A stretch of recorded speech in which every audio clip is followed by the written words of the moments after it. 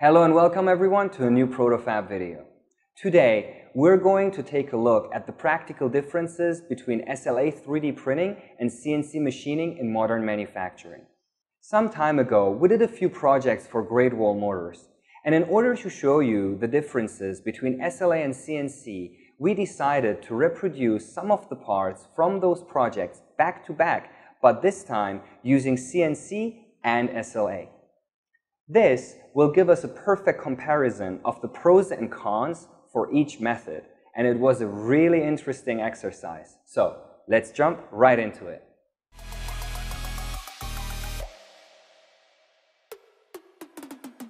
Great Wall is China's largest producer of SUVs and pickup trucks and is currently expanding all over the globe. The firm boasts none other than Cristiano Ronaldo as its brand representative. The biggest new release for Great Wall has been the Wey, a premium compact SUV that first hit the market in 2017. Protofab is proud to have been a part of this project and we carried prototyping for a number of parts including the engine cover, which is the focus of this comparison. First, let's see how the CNC machined engine cover was produced. CNC machining is a subtractive manufacturing process, so we need to start with a large block of material which will gradually get carved down. However, it's not just a case of loading the material and pressing play. Prior to this stage, there was a fully 10 hours of preparation. This included 4 hours of analyzing the digital files and 6 hours of configuration. While this is taking place, the machines also had to be set up with the correct cutting tools and parameters. This technology can't produce the prototype in a single piece, so three separate machines were needed to make different sections of the part, which were then glued together at the end. Here we see the main section of the engine cover. Notice the mountains of waste material piled up at the sides. In contrast to CNC, the SLA printed part is produced in a single print and without any waste.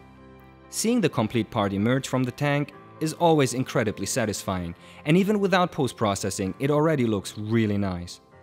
Only a small removable cover was printed separately from the main part, and that was printed at the same time in the same tank, so it didn't lengthen the build or complicate things. After the preparation was done, it really was just a case of press play and go. When we look at the newly milled CNC part, we can see the contrast. The table is covered in all kinds of bits and pieces that had to be cut separately due to the physical limitations of CNC. All of these had to be glued on later. This is because the cutting tool is very limited in its movement and many sections of the engine cover are obstructed during milling. The technician has to refer closely to the original drawings and make sure that everything is assembled correctly. Maximum precision is required at all times. The gluing is a particularly tricky and time-consuming process, and there is inevitably some loss of quality in the finish. Our team is extremely highly skilled, but it's just not possible that a glued together part can be as smooth and seamless as a part that was printed as a single object. In terms of dimensions, the two parts are essentially identical and both took 40 hours to manufacture. However, when you add the 10 hours of preparation time for CNC and the additional gluing time, the total process for CNC is a good bit longer.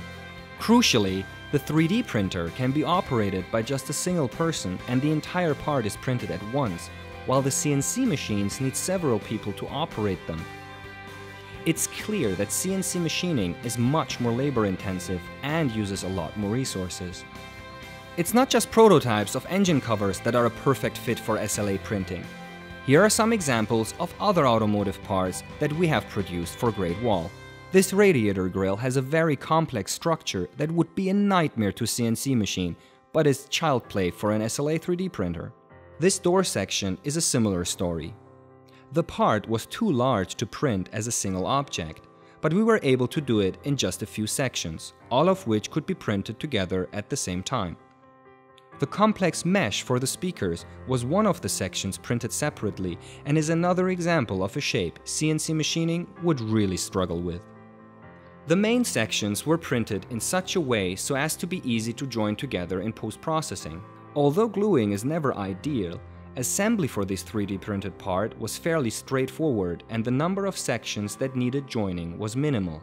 Once the gluing was complete, it was just a case of sanding down those areas and working the surface to a smooth finish. Had we had to rely on CNC machining for such a large and complex prototype, costs would have been through the roof. With 3D printing, it was just a regular build except with the addition of a little bit of gluing and sanding. While CNC machining has its advantages and applications, for this type of project, SLA is way ahead. It is much quicker than CNC, it allows for much more complex shapes and designs, the whole process is far less labor intensive, and there is much less waste of material. To just illustrate the sheer level of waste, this part here weighs around 950 grams, but it had to be carved from a 27 kilogram block of ABS, which is really incredible. When you consider how efficient SLA is in comparison and all the other advantages we discussed, then it really does seem like the future will belong to additive manufacturing, especially for modern car manufacturers like Great Wall. We also want to thank Great Wall for their amazing support and cooperation which made this video possible. I really hope you enjoyed this content. If you did, please leave us a like and subscribe so we can bring you more content like this in the future. Thank you very much for watching. I'm Damon from ProtoFab and I hope to see you next time.